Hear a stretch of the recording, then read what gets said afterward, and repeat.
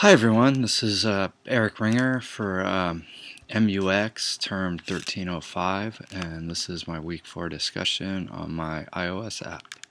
So uh, let's go over the questions, what went well and didn't go well while building your native app. Uh, well let's go ahead and run it. I said overall um, everything went pretty well.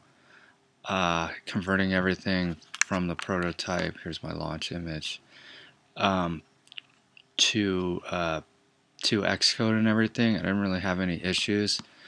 Um, originally, I had this the homepage be a um, sfindie.com, but I kind of changed that, which um, to an animation of different images. So every um, few seconds, it changes an image, and then I added uh, the sfindie.com button so that way they um, when they click it can go to uh, there's the website. Oops. so then you can just go back home. Uh, what aspects of the application were best presented as native components? Um, I would say well I would say well mainly uh, that this animation right here and then I have an info button. You click on the info. It tells you a little bit about SF Indie Fest uh, and then this app was created by Eric Ringer. And then I added the survey so they could take the survey if they wanted survey button. Then they could go back. Um, and then you know each one of these is a table view with a detailed view. So that's native. So they would uh, like here for DocFest, which is coming up, I actually added some real film, some real data, so they can click on that. Uh, they'll be able eventually to uh, click that button to see the trailer. Right now it's just the default of the DocFest teaser trailer. Um, and then they click the buy tickets and it would take them to the buy ticket link. So those aren't quite working yet, but this is, you know, the summary, the time, the date, the time, and then uh, the synopsis of the film. So each one of these would have that, so it's kind of like how it would look. So this is all native. So what aspects of the application were customized to create a new brand? So I added uh, branding here, SF Indie Fest, right here to uh, all the to all the table views. Uh, so I think, and then um, just having you know the images here in the table views I kind of changed it up. So eventually they'll look like that. But that all you know so you're aware that this is SF Indie Fest. And then I even added a location.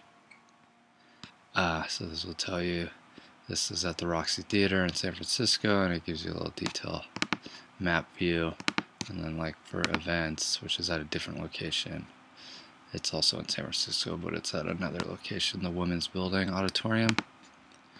Um, so, what aspects of the application, integrity, functionality, and aesthetic were easily translated to Objective C? I say uh, making these table views, this UI tab bar, um, adding the little icons into there, uh, adding the images for the table view uh, you know, it has a text field, some labels, uh, the nav bar buttons. So all this stuff was pretty easy.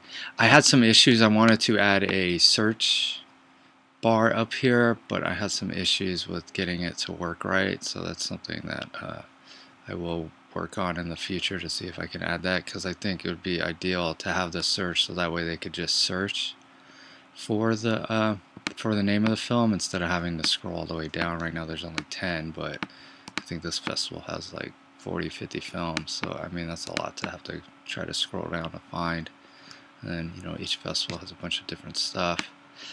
Um, and then how satisfied are you with the experience and the performance in this class? Uh, overall, I enjoyed this class. I like making this app.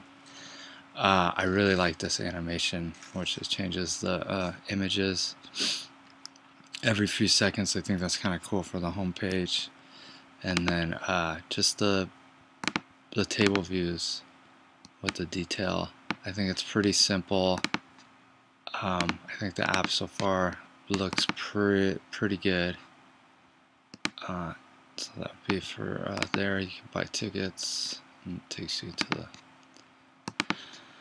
buy ticket links. Uh, so, um, but yeah, I did. I enjoyed this class, and uh, I'm actually looking forward to the next couple months where I can add more to this app and uh, get it into the App Store. So I think that would be really cool. So I would say overall, I'm pretty satisfied so far with uh, what this app is, and excited about what this uh, adding more stuff to it and uh, getting it into the App Store.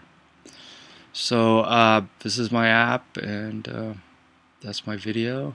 And uh, I enjoyed this class, and I hope everybody else did. And thank you for watching, and I will see you next time.